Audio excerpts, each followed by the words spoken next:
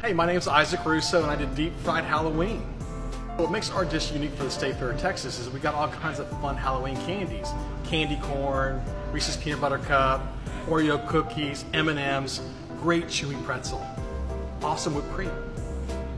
So one more thing, I didn't give you a disclosure. All you parents out there that come and get this, I'm sorry, I can't help all the sugar rush, but they're gonna love it.